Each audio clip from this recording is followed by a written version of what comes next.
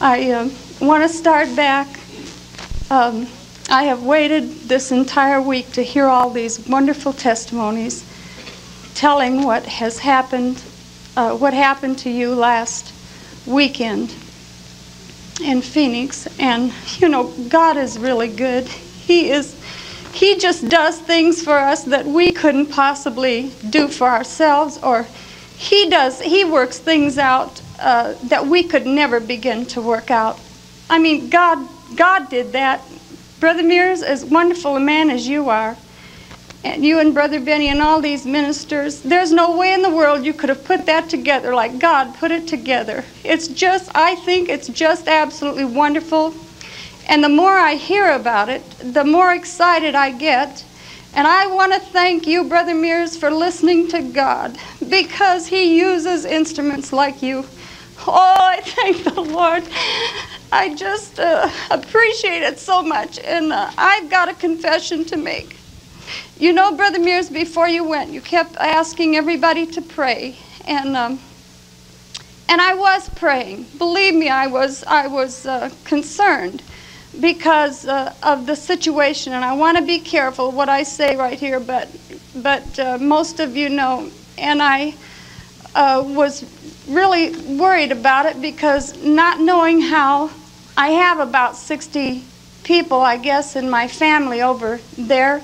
They don't all go to Brother Benny's church regularly, but they certainly look to him as their pastor and and regard him to the very highest. And of course, uh, I was really worried um, that if if I or or my family even showed up over there, that during this meeting that it would cause them to be upset at me, and uh, I was worried about that. And then you were telling us to pray, Brother Mears, and I knew you said that you really felt like this was the right time.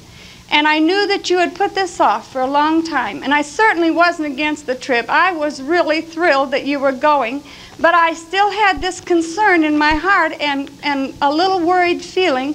And when you would say, I really feel like this is the right time, which you said on several occasions, if you remember, I said to myself, Oh, Brother Mears, I hope you're right. I really hope you're right because I was so concerned about it.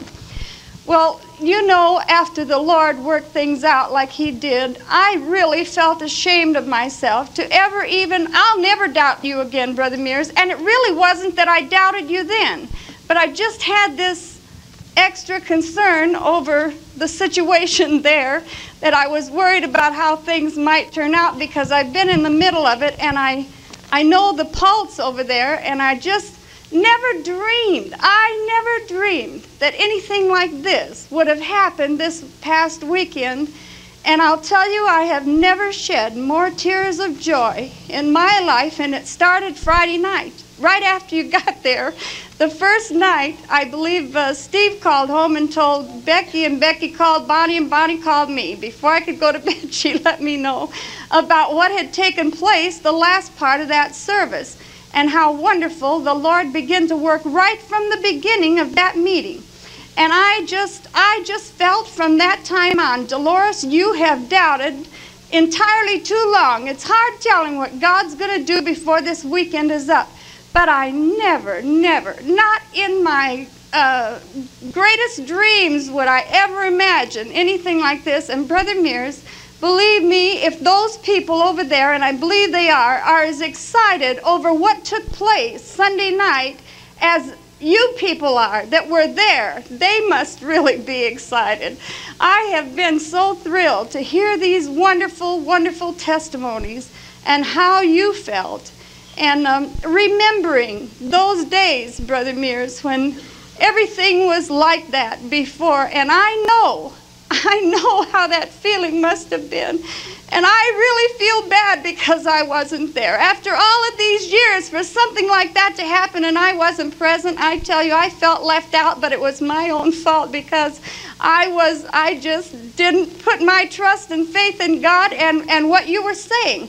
And when you said that you believe this is the right time, I should have said, Brother Mears said, he believes it's the right time, and I'm going to stand on that and go by faith, in faith believing, but I didn't do it. But you can be sure from here on out, no matter what the situation is, I'm going to be careful about anything that I decide on doing.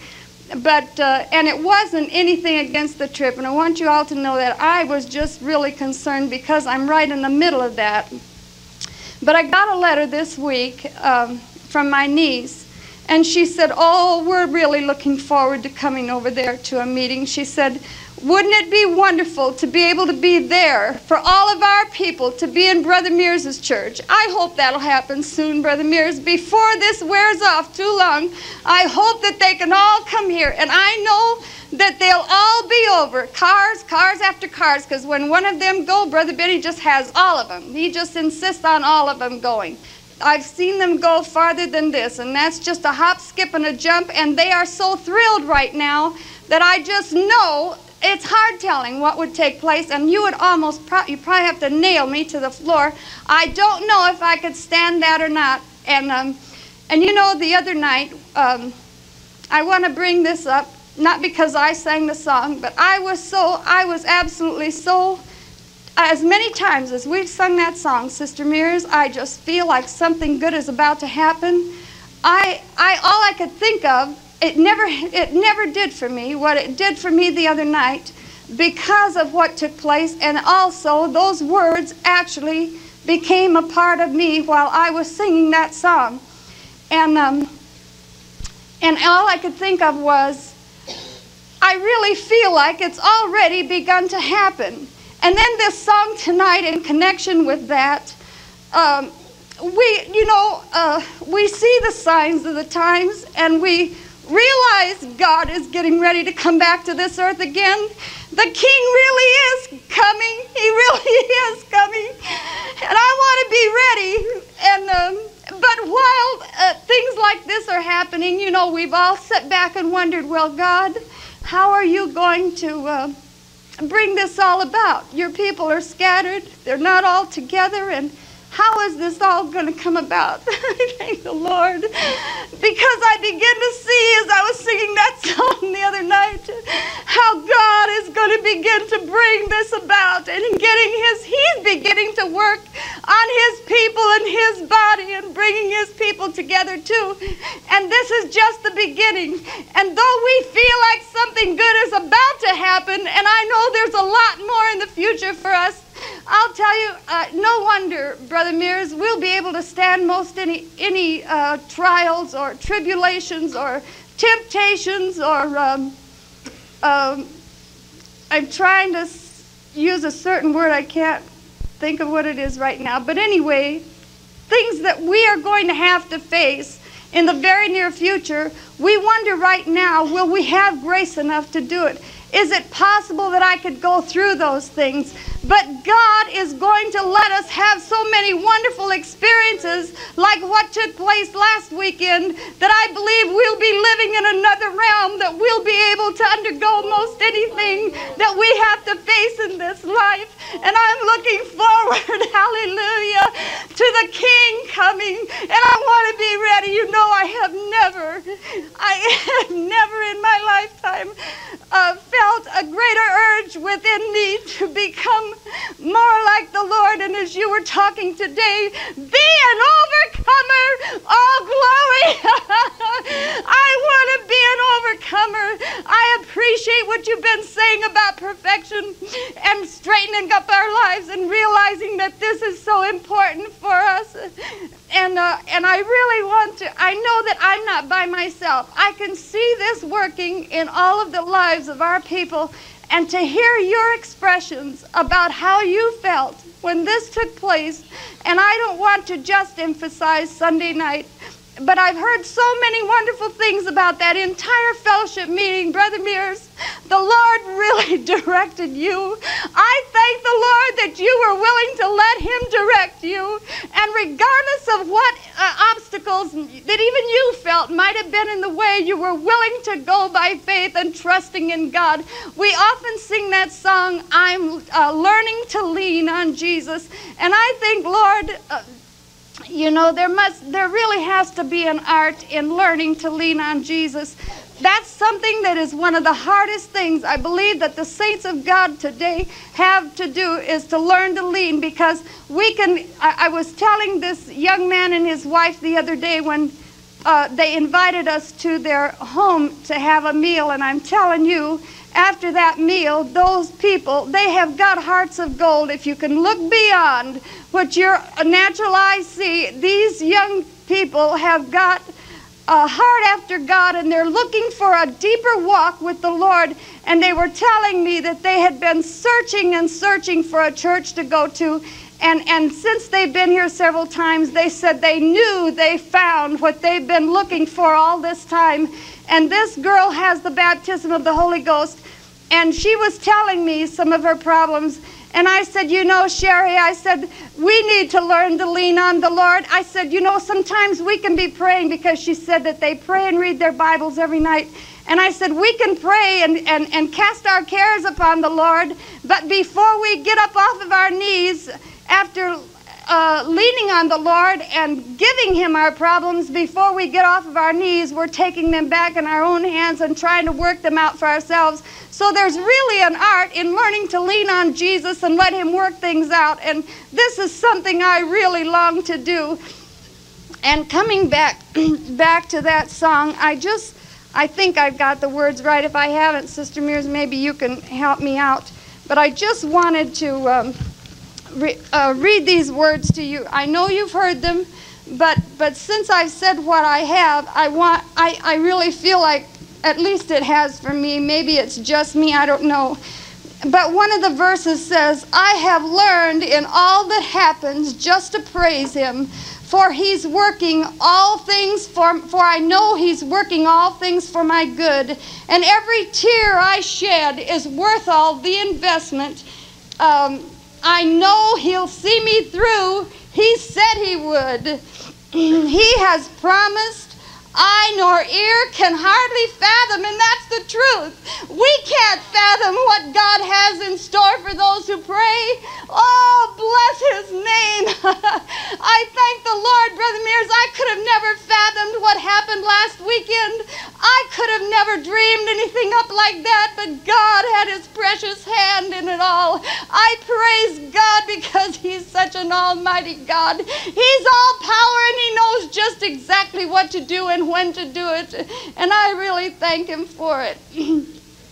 also, the next verse says, we have heard all the bad news in the paper, and we hear it all the time. Not just in the paper, the news, everything you look at, every time you turn around, you hear of bad things happening. And if we could would let it, it could cause us to get down. But it said, uh, it seems like things are bleaker every day, but for this child of God, it makes no difference. And let me change it just a little. For the children of God, it makes no difference because it's bound to get better either way. You know why?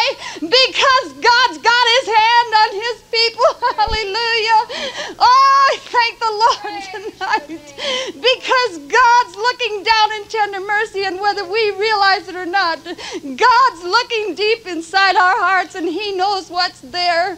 Oh, bless His name. Hallelujah. Because it's bound to get better either way. I have never been more thrilled about tomorrow. Oh, glory. Oh, that's so much a part of me tonight. I'm looking forward with anticipation, regardless of the things we have to suffer. God has got something great in store for us because we pray and because we're leaning on His everlasting arms. God's looking down and He's going to help us through it. And I've never been more thrilled about tomorrow. Sunshine's always looking through the skies of gray, and I just feel like something good is about to happen. Oh, hallelujah! Hallelujah! Oh, glory! I just thank the Lord for what has been taking place. I'm the least among you people. I've got so far to go. but I appreciate just being able to to just sit in one of these seats here and to be able to feel what we felt in that song a little while ago. Oh, God. I don't know if you felt like this or not, but I honestly was able to catch a glimpse of the coming of Jesus. Hallelujah. Praise God. Praise oh, hallelujah. Bless his wonderful name. There's so many things I, I had in my heart to say. Brother Mears, I listened to the tape last Sunday night. Uh, little Ken Brzee brought it to me. I appreciated it so much. and I listened to it about four or five times. And uh, he only got about an hour and a half of it. He said it was probably close to a three hour service, so I didn't get to hear it all. But what I heard, oh God. when you were talking, Brother Mears, I, I just, I'm telling you, um, I'm not one to say this too often, but I never heard such uh, words of wisdom that you used that night. I appreciate that. I, I know that uh, it was circumstances that you had to be very careful about what you said, but it seemed like to me it was words that were very fitly spoken. Everything that was said was absolutely timely, it was just right for that time. and I appreciated it so much. And I know because I know their hearts, I know how those people must have felt that night, and what a thankfulness they have in their hearts since that took place. Because I've heard them many, many times make uh, different remarks about the days that when we were all together, and to think that this has happened again, it's just too much for me. Praise God. Thank you, Lord.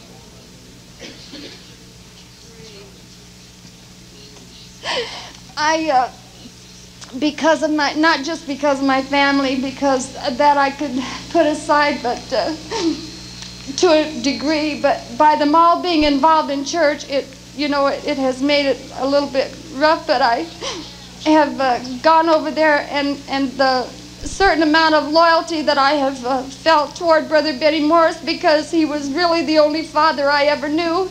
And uh, I guess I was about 11 years old when I moved into his home, and they took care of us until my, my sister and I, until we were both married. And um, so, so, you know, even just that alone is enough to cause me to feel a loyalty there. But uh, then uh, I was in that assembly for 15 years before I ever came out here. And, and, and just imagine, if you can, uh, that was really, I've been thinking about it all week, you know, Brother Mears, that was really quite a transaction for me because from a child I had known nothing else but that assembly. And, and then when we moved here, I loved the people, and, and it wasn't that I didn't fit in, but, you know, uh, I started to say, if you can imagine being taken out of this assembly after being here 15 or 20 years and going someplace else and trying to be a part of that, it really was a transformation for me to make.